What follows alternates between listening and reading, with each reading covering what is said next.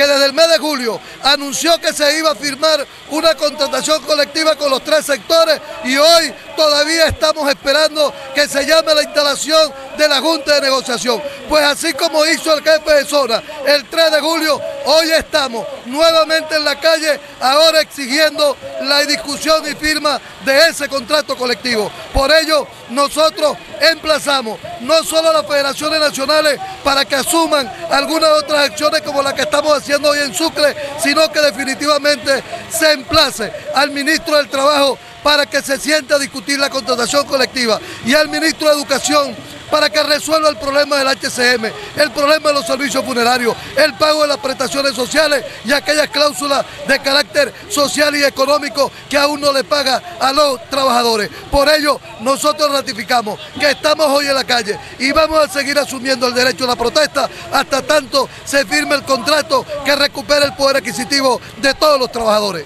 Hoy vemos cómo se ha desbordado, en este caso, las calles de Cumaná con esta gran manifestación de los docentes administrativos obreros. Es por eso que hoy nosotros felicitamos a todos los docentes y los administrativos obreros que, acudieron al llamado masivamente. Es por eso que ahorita dentro de un rato vamos a llegarnos hasta la zona educativa donde le vamos a entregar un documento, en este caso al jefe de zona, contentivo pues, de una serie de pedimentos, productos para que se discuta de manera inmediata la contratación colectiva. No es posible que un docente 1, 2, 3 y 4 han quedado por debajo del tabulador salarial. Y lo, injusto es que el propio ministro, a través de las redes sociales, viene informando de que se ha dado un ajuste. Es una burla para el personal docente. Es por eso que el personal docente ha salido a manifestar contundentemente, a reclamar en la calle lo que por derecho no corresponde. Y tengan la, facultad que no vamos a abandonar la calle, porque si es necesario que hagamos un llamado a un paro general de trabajadores, lo vamos a hacer, pero vamos a reclamar ese derecho que nos corresponde.